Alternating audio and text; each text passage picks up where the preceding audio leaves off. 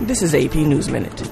The bodies of 19 firefighters killed in an Arizona wildfire have been retrieved. The lone surviving member of the 20 person elite team known as Hot Shots was moving the crew's truck at the time.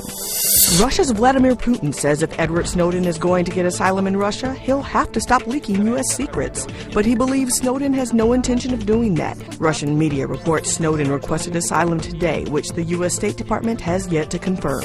Egypt's military is giving the country's president and his opponents two days to reach an agreement before it steps in. For a second day, hundreds of thousands of protesters are calling on President Mohamed Morsi to step down. It's been 150 years since the Battle of Gettysburg, but for some, it's still going on today.